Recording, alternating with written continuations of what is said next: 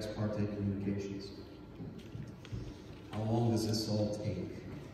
Well, we're going to go through the timeline, and it's, it's a fairly long timeline, but it ends at 365 days from the date that the application was, was accepted. So let, let me take you through it. Okay, some of, some of this has already occurred. At some time before the Chinook application was filed, at least 30 days before the filing, uh, the applicant, I believe, they came here, Doug? Was it in this building? Came here and they had what they call a pre-application public information uh, session. Um, and I understand that that took place on July 18th. That's not something that the committee itself was involved in, uh, but that's sort of the first public event uh, in our timeline.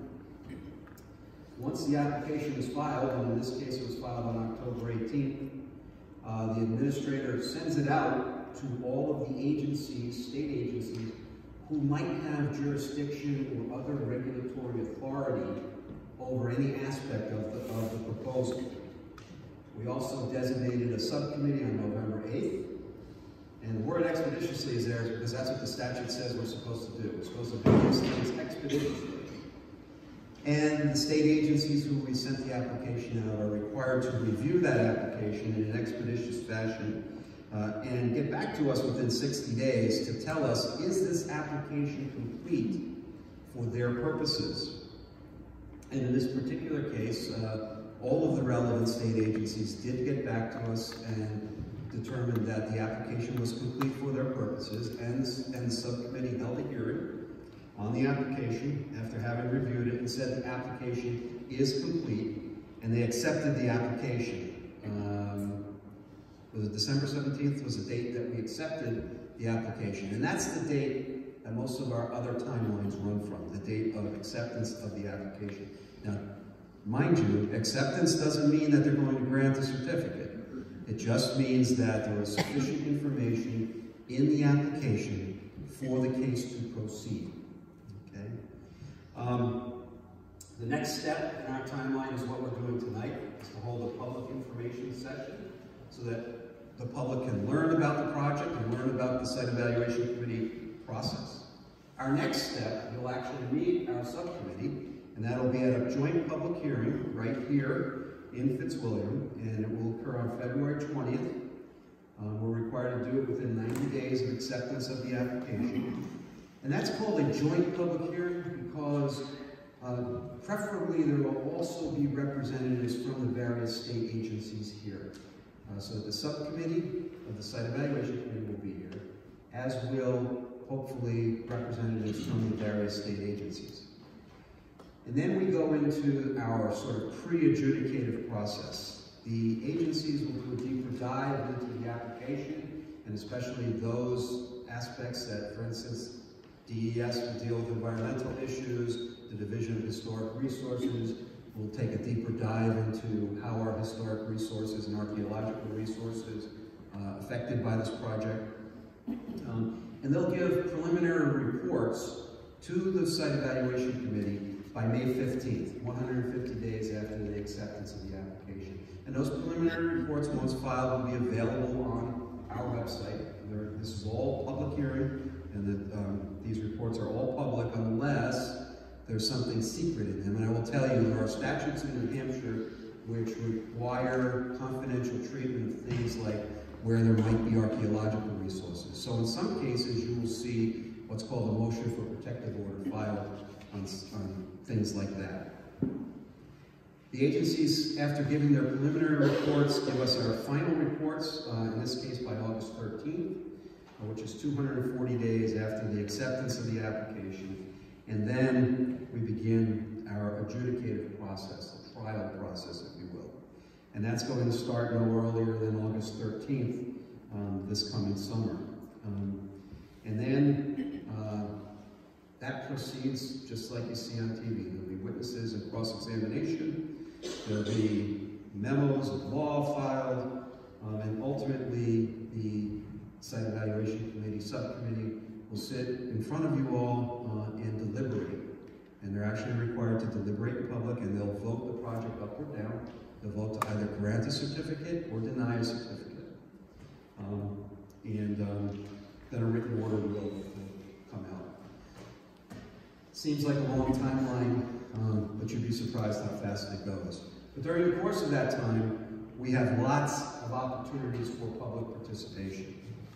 Um, it began before even the site evaluation committee was, was involved. Uh, one of the things that the applicant was required to file with their application is the transcript of the pre-application information session. So that's already been filed, filed along with the application. Um, so there's been public input there. There is tonight, anybody who wishes to give input or ask questions tonight, that will all become part of the record of our proceeding. There will be the public hearing that's on February 20th in front of the subcommittee. And the uh, site evaluation committee accepts written comments from the public all the way through until the evidence is closed in the adjudicated process. So literally up to the day that they vote on whether to grant or deny a certificate, they will consider any written comments. There are also, um, on occasions, uh, times when we will, during the trial process, set aside an hour or two for uh, public comment at that time. Uh, to learn if, if we're going to do that, you have to follow the scheduling notices that will come from, from our chairperson. Um, there's another way to intervene. If you believe that the project affects you individually or affects a group that you might belong to, um, you can also file a petition to intervene. Uh, those are due tomorrow, day after tomorrow, by Friday.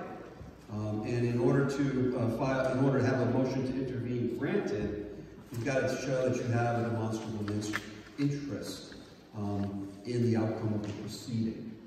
Um, if you wish to intervene as a party, you would be uh, requested to act like a party, to come to the hearings, uh, to act in accordance with the site evaluation committee rules, if you were granted intervention status, um, and um, you have to play by the rules.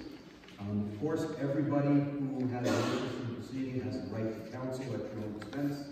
Um, and if you were to um, intervene in the proceeding, uh, you could hire a lawyer to represent you um, if your intervention was granted. Or you could hire a lawyer to move for your intervention as well.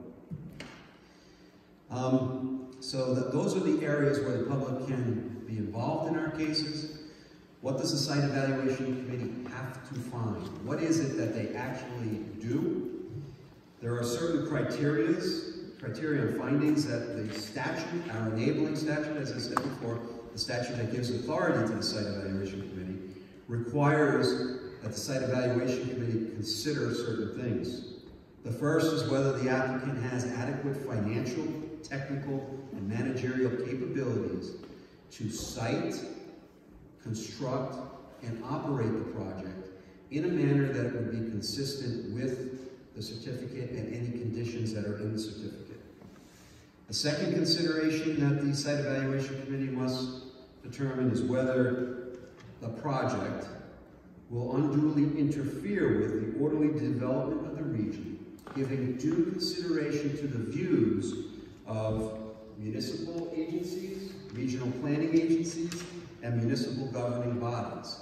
Um, so the site evaluation committee will consider the views of the Board of Selectmen, the Planning Board, if there any, any of these agencies that come forward and present their views, those will be considered. Now, as I said before, site evaluation committee does not have to follow them, nor does the applicant have to go through your local procedures.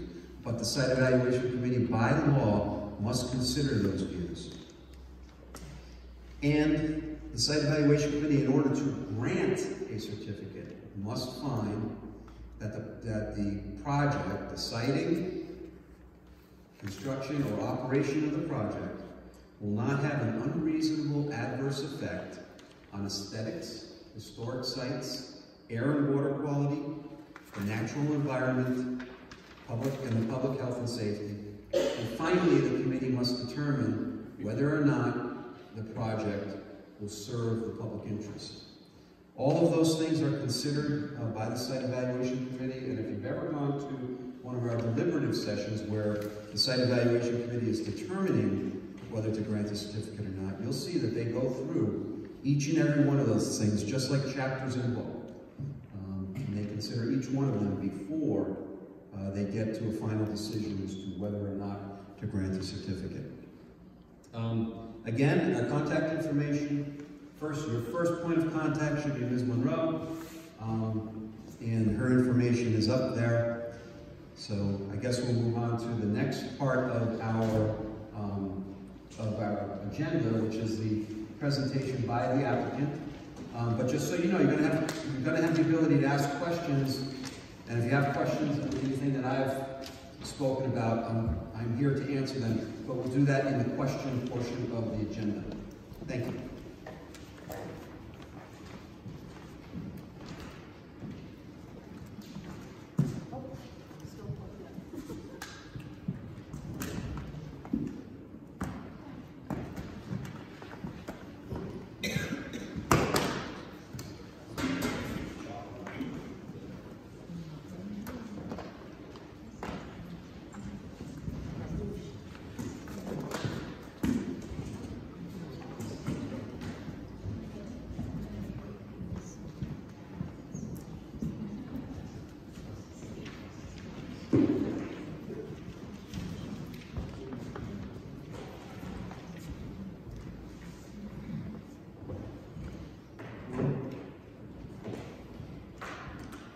Good evening, everyone.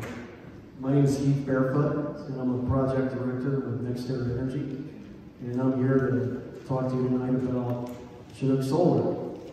This is the second opportunity that I've had uh, to visit and share information about this facility uh, here in Fitzwilliam. And once again, I, I thank all of you, members of the public, and, and uh, representatives of the town, and of course, uh, the committee for, for allowing uh, the project team and myself to, to be here. So, Chinook Solar is a facility being proposed by NextEra Energy. NextEra Energy is the world's leading generator of energy from the wind and the sun. We have 90 solar projects operating in 36 states, and since 2004, we've deployed uh, more than $85 billion worth of uh, energy infrastructure. And we think that this demonstrates our commitment to the communities in which we work to successfully design, build, construct, operate um, renewable energy generating facilities. Chinook Solar is a 30 megawatt photovoltaic solar generation facility proposed here in the town of Fitzwilliam. It's located east of town, south of Route 119, and east of Route 12. It will lie on land that historically has been logged for timber. And its footprint will be uh, 110 acres. Um, we have filed an application for site facility with the New Hampshire Site Evaluation Committee. That was done back in October. And of course, tonight is a continuation of that process. If we successfully secure a permit, we anticipate beginning construction in the winter of uh, 2020 um, into 2021. And we would target a commercial operation date of October 2021. We've heard a pretty good amount of detail um, on the SEC process already tonight. I won't go into that in further detail in my presentation, but of course, if we have specific questions um, afterwards, we'd, we'd be happy to address any of those.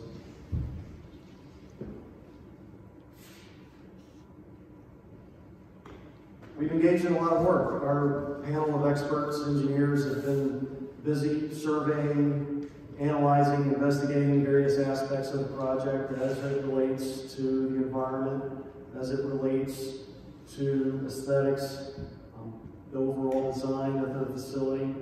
And we're very proud of the results. We've uh, achieved a design structure that we think um, fits very well with the proposed location. And many of these reports are, are all available as part of our application, um, which may be found both at the um, New Hampshire Site Evaluation Committee's website and uh, hard copies also have been made available here to the town as well for the public to review.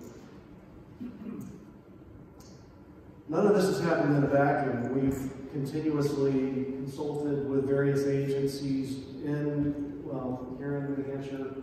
Um, we've uh, investigated or sought advice on any area of interest. That feedback has, along the way, been incorporated in, into our design plans, and, and we've demonstrated uh, a consistent effort in trying to communicate um, with the agencies to ensure that we have a successful um, project. Notably, Fish and Game consults with um, any species of interest, for example, alteration of terrain, of course, for uh, stormwater management. Um, In parallel, we've also shared information here in the town with the planning board and the select board and tried to, consistently follow up to, to share that information uh, with the public.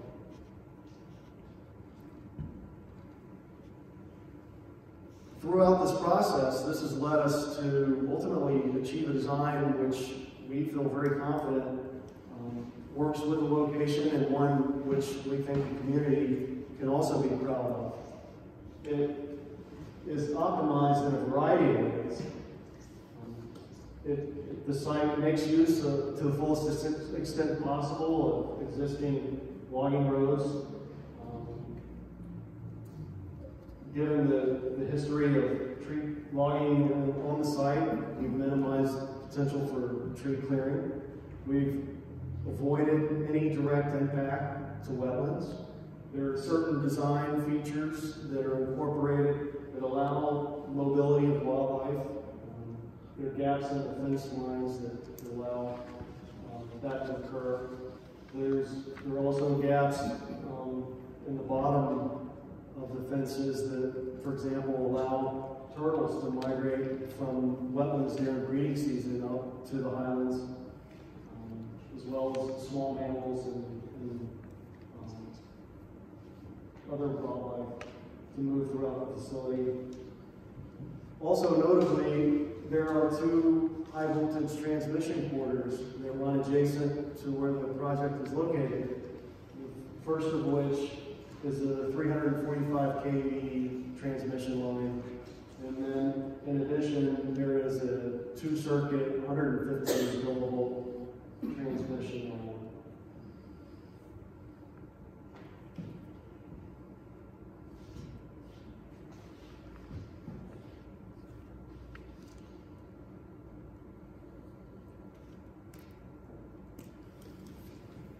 So, the benefits are clear. This project will deliver clean, reliable energy. It helps the region achieve carbon reduction goals. Um, It will also provide construction jobs locally, um, once, once construction begins. And while being a passive land use, once it's finished, it will continue to pay um, stable property tax revenue to the town over the life of the project. So for all those reasons, we, we feel that we've designed a, a- a great facility and, and one that we're very optimistic in, um, moving forward with. Thank you. I, we brought Mark Wallace, um, with us. He is our sound, our sound expert, and we know last time when we were here, there were a lot of questions about sound, and, and it's very difficult to kind of discuss sound in abstract terms, so we, we thought uh, a little demonstration here might, might be helpful.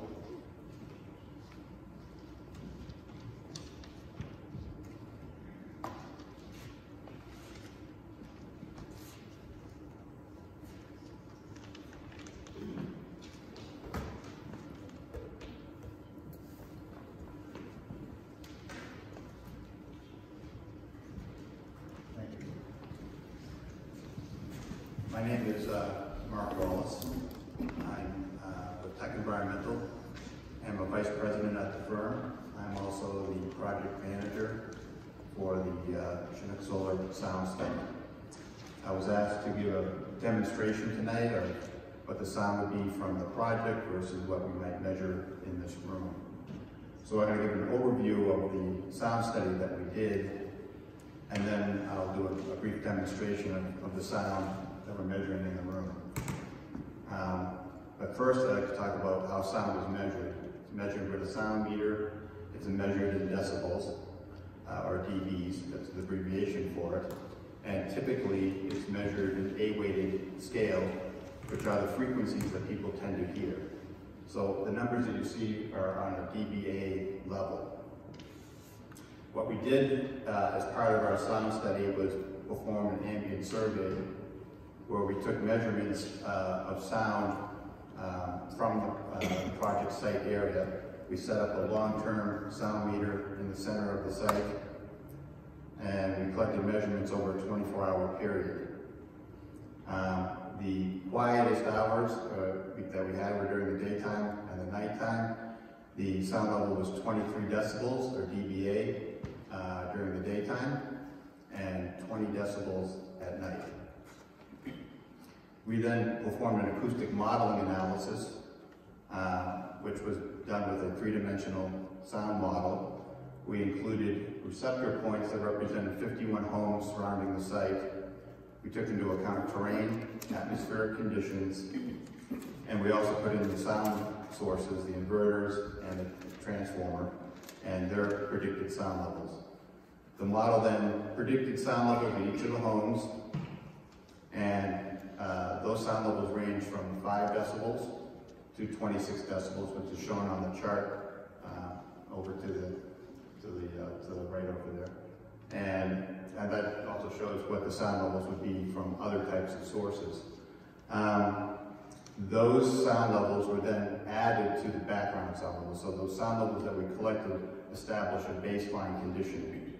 The total sound was then compared to the ambient condition, um, and that incremental change is what we compared to the state and the Fitzwilliam uh, noise ordinance, which is based on a 10 decibel or dBA level above ambient. The, uh, for most of the homes, the sound levels were between zero and three decibels, which are imperceptible by people. And a few homes that were uh, closest to the project, we did have sound levels that were about four to six decibels above the ambient condition. But keep in mind, those were uh, based on when the facility is running at max power um, and when at the quietest conditions. Um, so what I'm going to do now is talk a little bit about this demonstration. So what I have here is a uh, iPad that's uh, has its own microphone, but we've attached one of our microphones, which is a, which is a laboratory calibrated uh, microphone, which is sensitive to plus or minus one decibel. So it's much more sensitive than the one that's with the iPad itself. The iPad is now communicating to the computer, which is then showing you what it's measuring uh, for sound in the room. And it's primarily myself you know, conversing with you folks. Um, so what I like to do is I'll just stop talking and we can measure the sound within the room so that we can compare that to what the project sound level is. So it's, it's registering about 39 decibels, which is about uh, 15 decibels higher than what we would be expecting from the project from its maximum sound level. Um, to give that some kind of perspective, um, you know, for every doubling of sound, you get, uh, for every 10 decibel increase, I'm sorry, uh, there's a doubling of sound. So uh, with a 15 decibel increase, it's about three times as loud in this room than what the project is going to be doing. So for example, if you were at home and you have your television, and say you set it at 20, and then you raised it to, say, 60, that would be about a 15 decibel increase in sound, or about three times as loud. So at least gives you a better perspective of what the sound is in this room compared to what the project is going to be emitting. So that's my brief demonstration of sound, and I'll be willing to take any questions during the Q&A portion of the meeting. Thank you.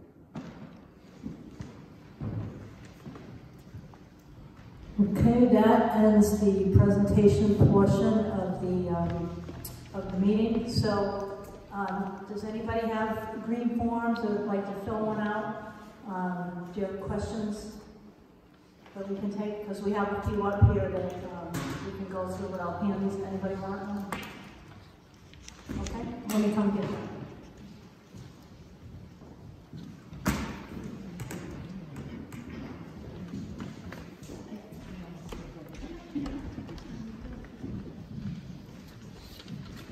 Um, I'll start with the first two questions that we have. They both appear to be for the applicant.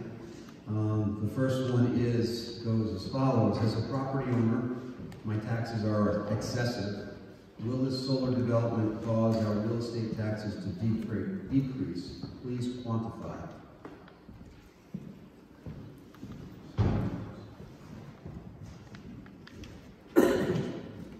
Whoever from your team you want to address that is fine. I'll just say that the project is negotiating with the town on uh, payment in lieu of taxes agreement, which would provide tax stabilization in terms of uh, the the revenues the town would receive and the, the tax exposure that the project would face. And I think there's a mutual benefit to both parties uh, in, in having an agreement such as that in place. With respect to what that would do to the town's tax roll, I, I, I don't have any information available on that. Next question is a lengthy one. I'll read it as it was written. When you were here last, you stated that your sound study showed that only four residences would be impacted by the noise from the solar array's transformers. The term impacted is an industry euphemism used to soften the real issue. The real issue is that these households will be harmed by the noise. What changes have you made to the design since your last visit to mitigate the harm that will be inflicted on these residents? Have you designed a sound wall, integrated isolation strategies, considered encapsulation or other reasonable accommodations? You said that you want to be a good partner in our community. I look forward to hearing your response regarding the measures that you have built into your new design to alleviate this concern. I figured you'd take it. Um, so we haven't changed anything in our sound study from what was presented during the pre-application meeting back this summer. Um, I will say that, you know, we have taken into account a lot of different uh, things within our model uh, to address the potential sound from, from the transformer. The, the size of the transformer is, um, is pretty small. The other, the other portion to it is that, um, you know, it's for a solar project. It's not for a large substation or a typical type of substation. Um, and when we did our sound study, I know there were concerns about tonal issues, and we, we addressed that in our, in our uh, current study.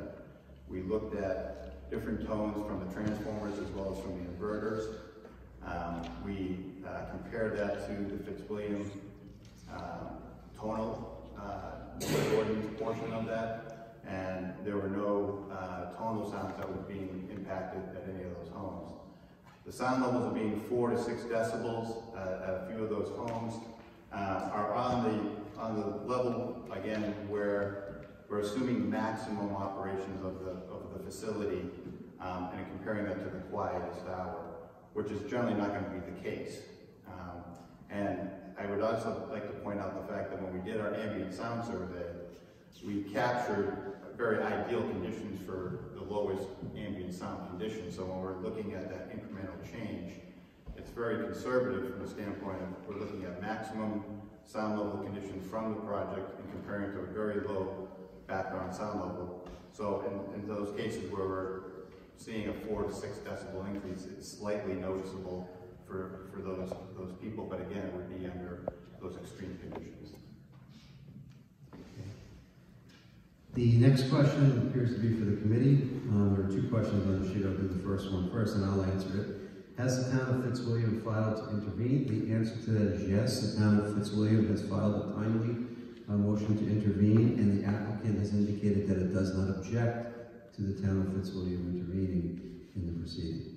Um, The second question on the sheet is, oh, by the way, that motion uh, is on, is on our website. Um, If you need the website again, you can get it up here at the table. Um, But the motion from the town is available to the public, as will all the motions or anything that's filed in this that is not subject to a protective order for some statutory reason.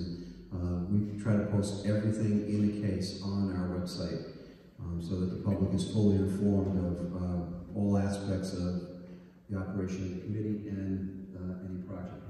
And I'll just add, if, um, I have a service list for the project. If you would like to be on the service list, what that means is that your email address would be added to it. And when people, uh, parties to the proceeding file documents, you would get it as it's simultaneously as it's filed with the committee.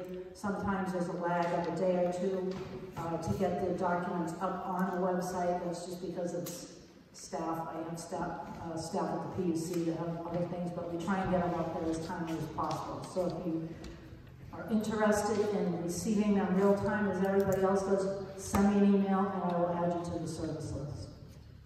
Your email box can get full very quickly. Um, the next question is, I'm going to read it as it- it's written, but I noticed this too. Benefits, what was that about meeting renewable goals?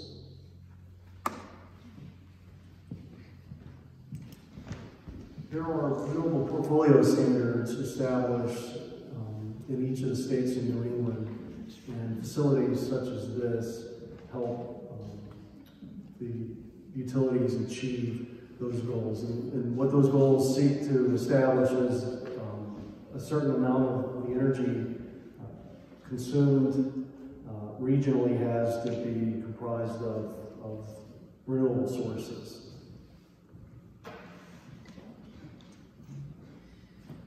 Next question is, can you describe how the site plan shown on the easel has changed since the public meeting this past summer?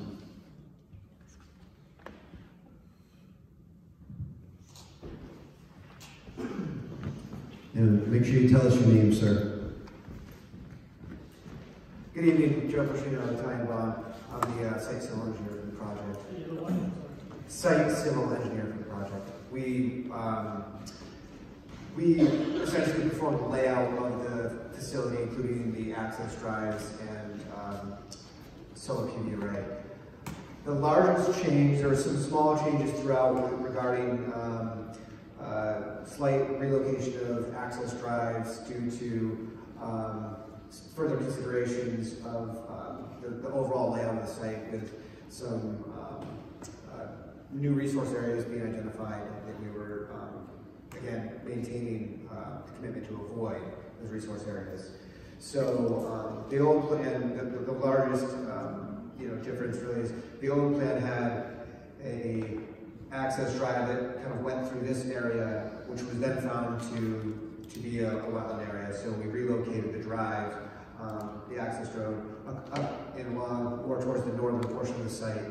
And um, that required an additional crossing, that's an open span crossing, so that would avoid any direct wetland impacts. That's primarily the largest change to the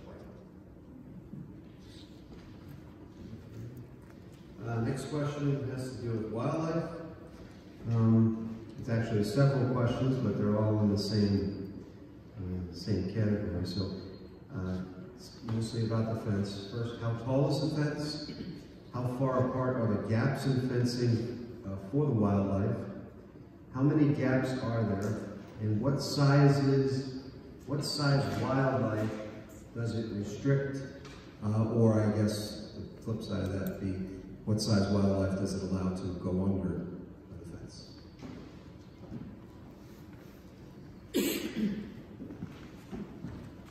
Dana Baloo, and uh, I'm from TRC. And um, so the first question is, how tall is the fence?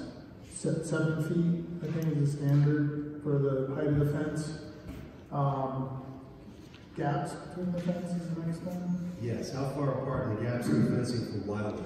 So I think it's just around, yeah, underneath. So underneath it's uh six inch gap for small wildlife to be able to traverse underneath, um, the, the fence and also, you know, cross under where the panels are. But each panel array is, has gaps in between it as well, so then those vary, and that would be for the large, larger mammals that can't squeeze under the fence. They- There's spaces in between the, um, each set of arrays. What's the size of those? Uh, they vary, um, some are probably five hundred feet, some are hundred feet. So it varies depending on the, the layout. So you can take a closer look at the site plan and see the gaps between the, the, uh, each of the array sets. And I guess uh, the questioner is also concerned about what size wildlife is restricted or not restricted. Yeah, so, so within the, um, arrays where the panels are located, large wildlife would be restricted. Um, and then in between the array areas, any size wildlife could, could in between. Dan, can you tell them what, what you consider to be large wildlife as opposed to? Large wildlife, uh, larger than, um, snowshoe hare. So, you know, six inch gap under the fence, anything that could fit under that six inch gap could traverse the array areas. Uh, between the arrays, anything larger, you know, up, up to a moose could easily walk between the arrays. Thank you. The next question has to do with wetlands. You said there would be no direct impact on wetlands. What are the indirect impacts? So any uh, indirect impacts are um, probably related to um, any stormwater runoff that's coming from the site. So in order to avoid that, uh, stormwater runoff um, has been designed to uh, go out, go off the site in a sheet flow for the most part, so it's able to infiltrate into the ground.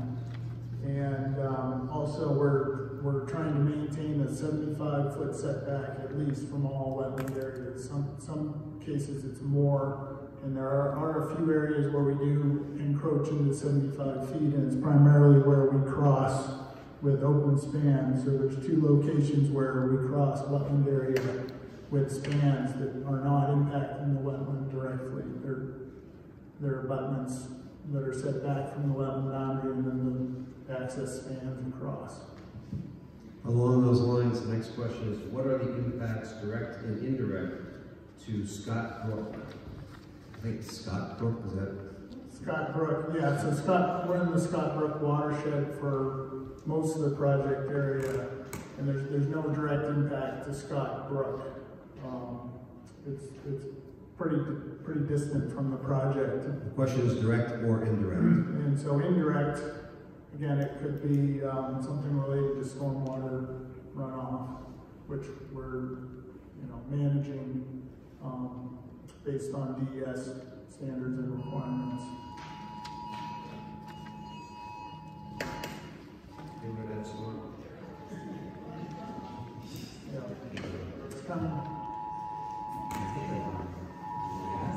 Okay, let's take a moment, everybody can check their alarms.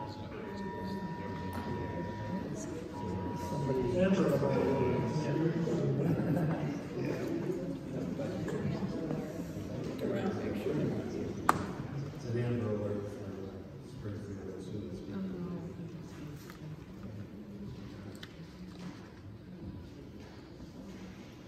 Um, Okay, I think I'm reading this next question correctly, but it's a word I can't quite make out. What is a new resource area? The man in the blue suit jacket spoke too quickly. Please explain in more detail. the, the best dressed, right? Um, so uh, we did delineations um, initially in 2016, which was a very dry year. And in, so in 2019, we went out um, to check all the all the boundaries of, um, from the based on that original delineation, and we identified some areas that weren't identified. Twenty nineteen was a much better year.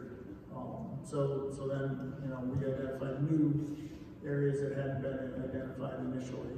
So then the project design shifted to, um, avoid those new areas. Um, next question, um, maybe we may need a different person to answer it.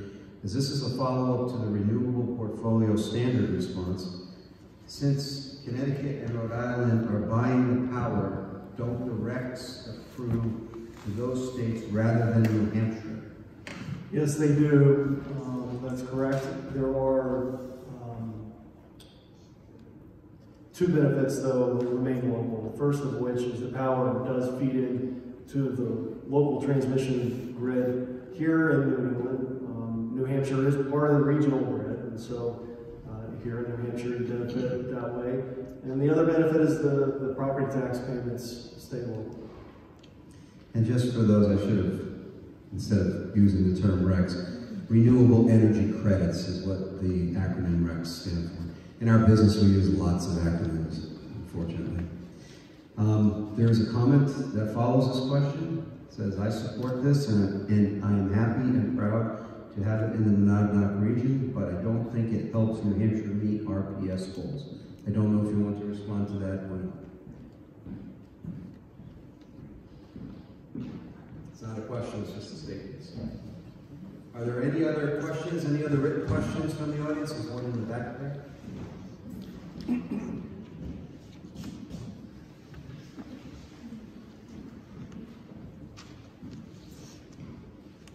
It's one.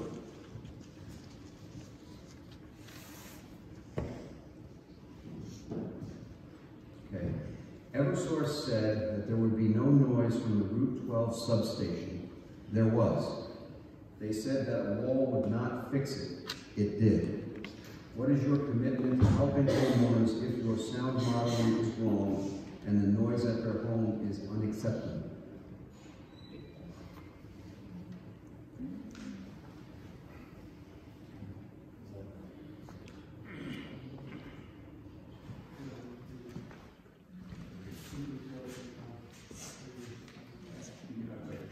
I certainly can.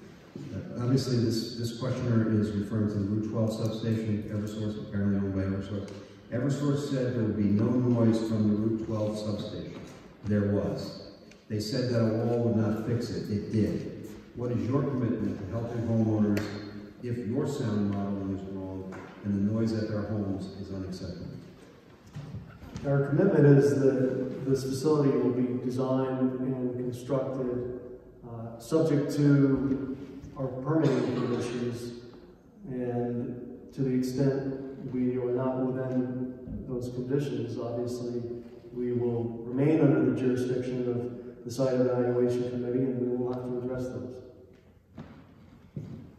Are there any other questions, uh, written questions from the audience? Okay. Hand it over.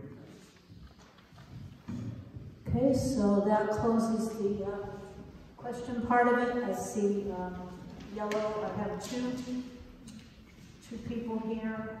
I guess we have a couple more.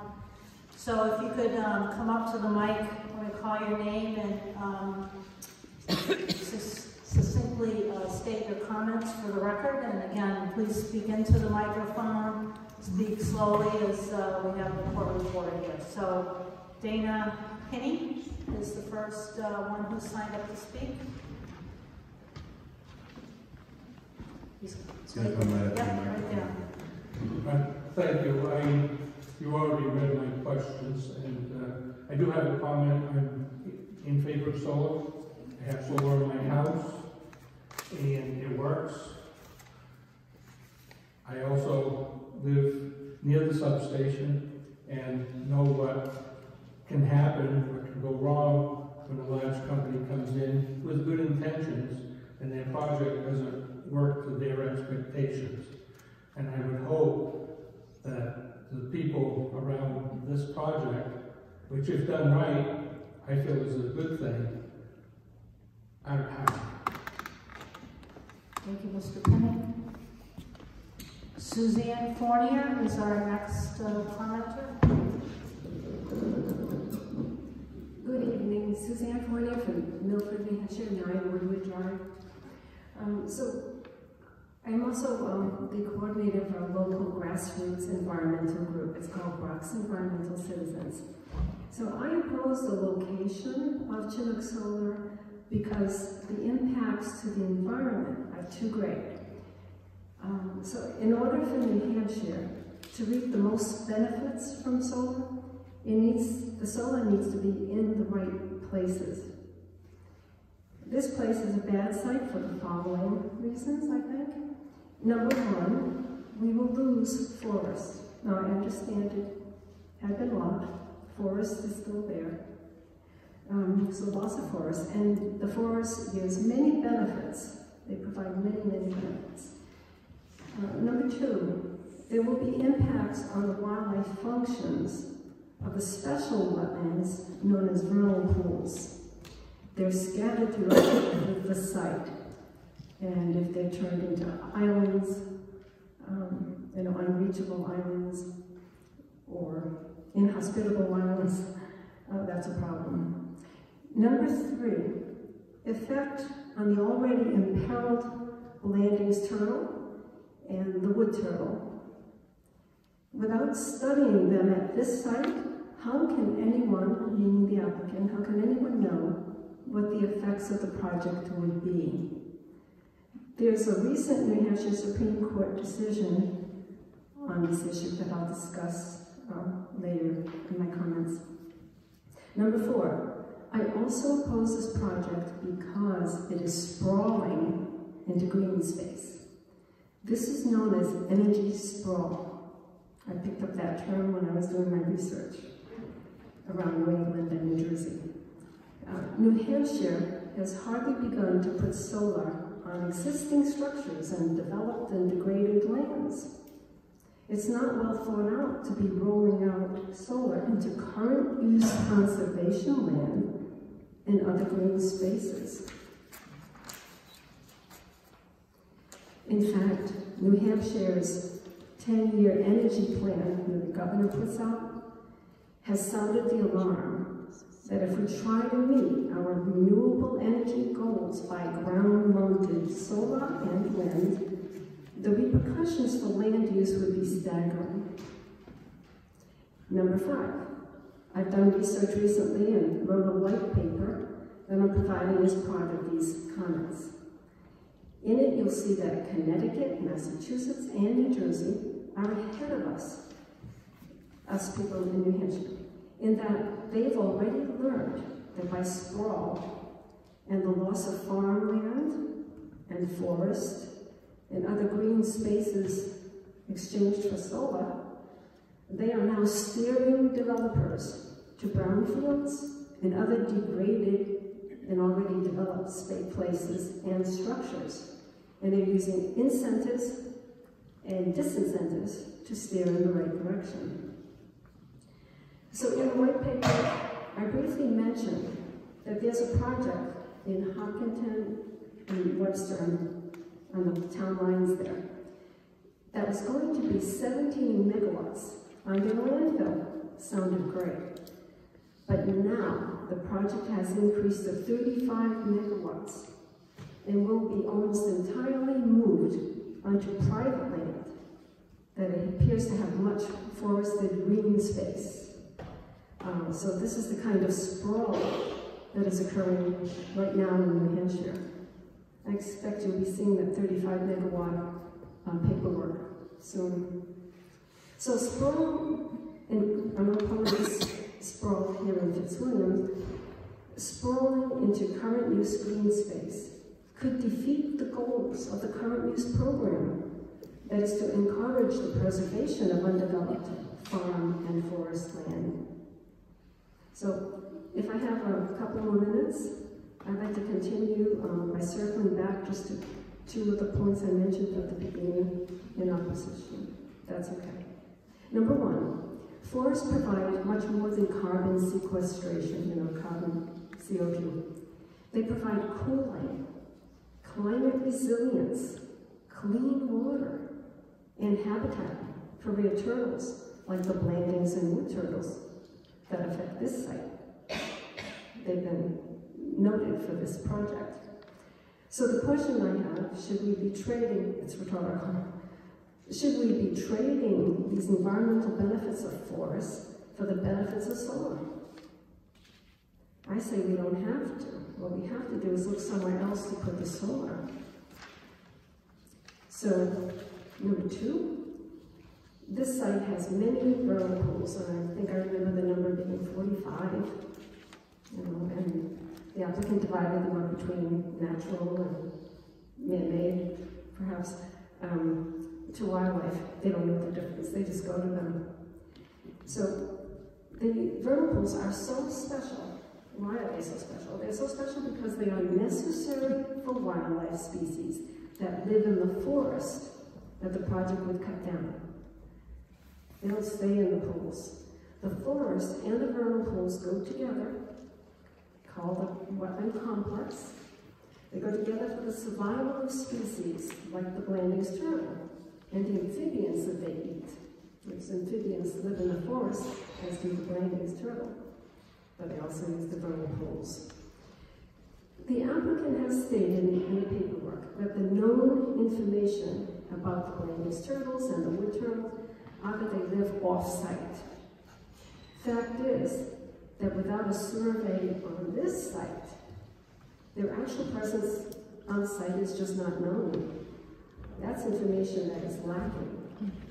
The applicant relied on the Natural Heritage Bureau report, which has a huge disclaimer that says most of the Hampshire's lands have not been surveyed, and I saw no information about Fish and Game Department saying that there had been any sort of survey of this land, other than the bats. The bat survey has been done. So I want to tell you also that the New Hampshire Supreme Court recently decided a case, it was November of 2019. It involved New Hampshire Department of Environmental Services, uh, its alteration of terrain program, and endangered wildlife.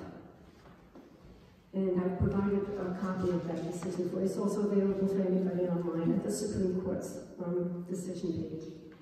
The court said that prior studies need to be done in order to know how to design properly project so that the correct standard of protection of endangered wildlife is utilized. It's going back. They want them to use the correct standard.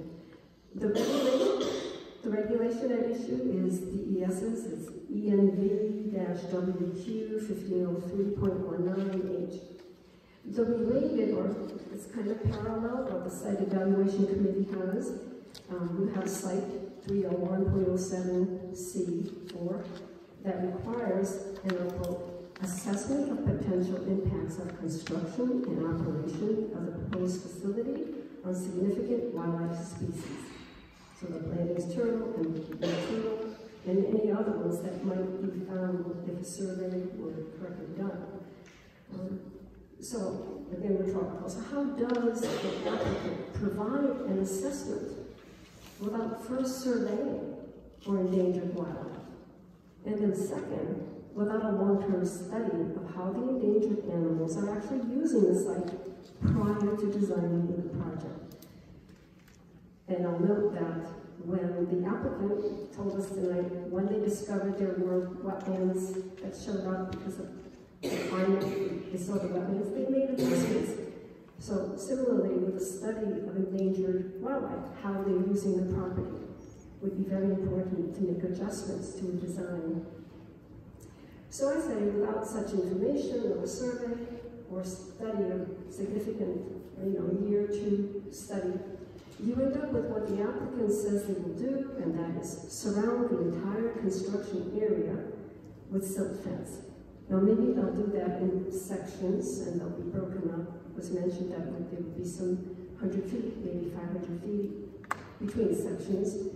But nevertheless, I think it would add up to miles of silt fence that would be put up. Um, and silt fence blocks everybody. So this is what the applicant said. Um, they would put up the silt fence around the entire construction area, and they said maybe in sections at a time but there still would be miles of land is silt fence that would prevent Blanding's turtles from getting to their vernal pools to feed and rest and other activities they do in the pools. They find mates. Um, and that would be in spring and summer. So I unfortunately have the unpleasant experience seeing turtles, um, and others, turtles following silt fence that has blocked their access to vernal pools in, in the town of Milford. So I hope you will review the Supreme Court's decision and decide to require a, a study, a survey, a long-term study. In closing, I want to stress that the environmental impacts on the endangered and rare wildlife are unknown at this time, but expected, at least by me, to be severe for the loss of the forest that would be cut down, um, you know, and the vernal pools would be impacted because the forest is gone that's part of the wetland complex.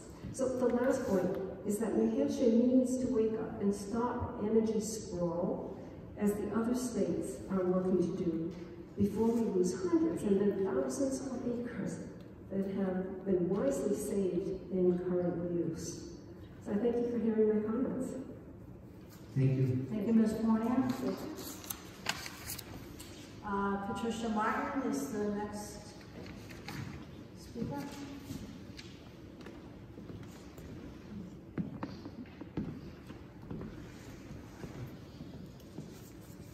Thank you for taking my comment. Um, I live in the next town over in Rindge, and I, first I want to express my gratitude to the people of Fitzwilliam for entertaining this project.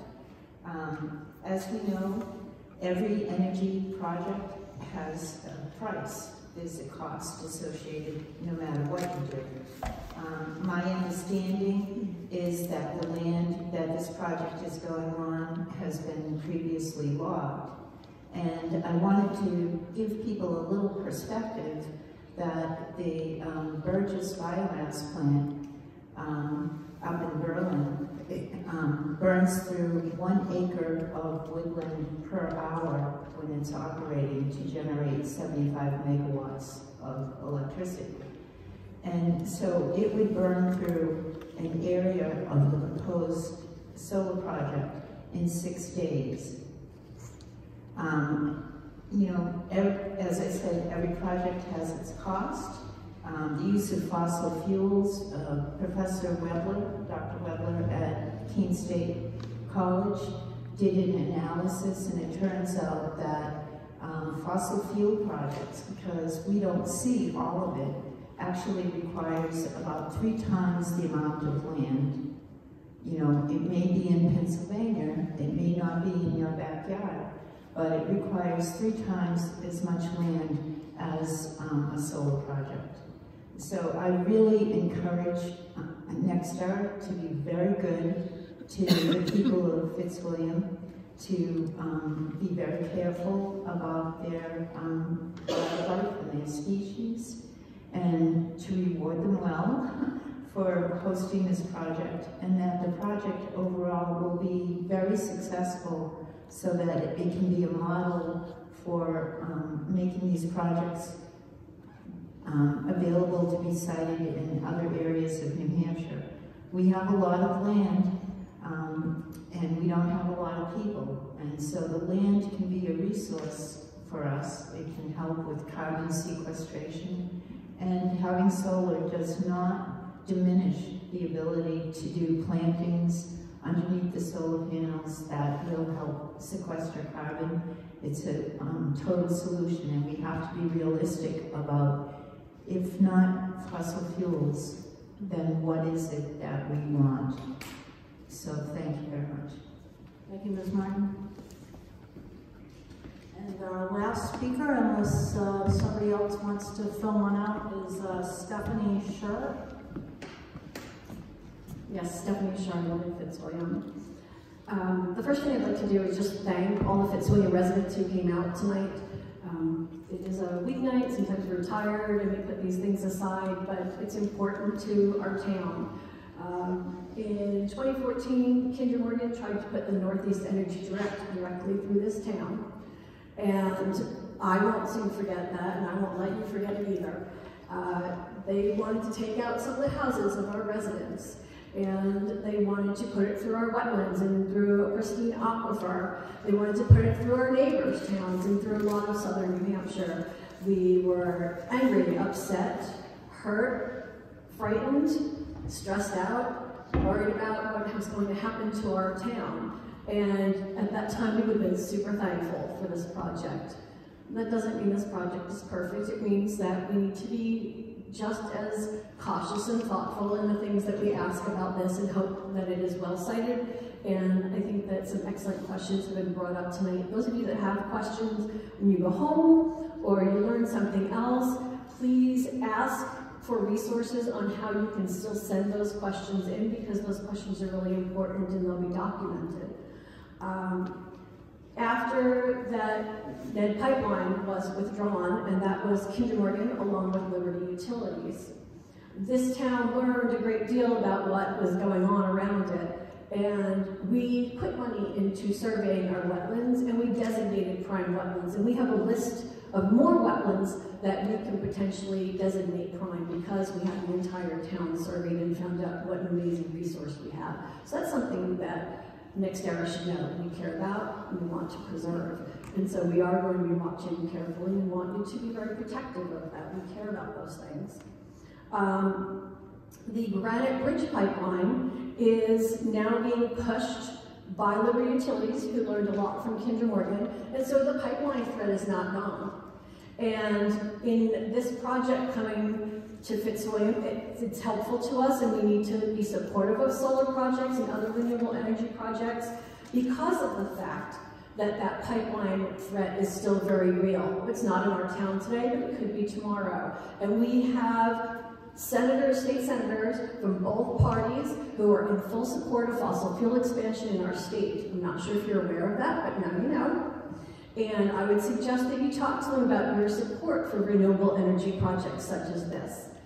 Uh, I get a lot of questions about this project, even when I don't know the answer, I try to find them, but the most frequent question that I personally receive is, hey, you know, I'll support it, but is the energy for our town? Because if it's not for our town, I'm not interested. But it's for all of us. It goes into the grid, and therefore we all share it. So even if it doesn't seem like it's just for Fitzwilliam, it is for Fitzwilliam because that's where our energy comes from. It goes into shared resources. Um, so yes, we do benefit from that. Um, in terms of our neighbor from Milford, I'd just like to address a few things. I grew up in New Jersey, and my biggest concern was that we were losing farmland, and still are, at an alarming rate, and it's from development.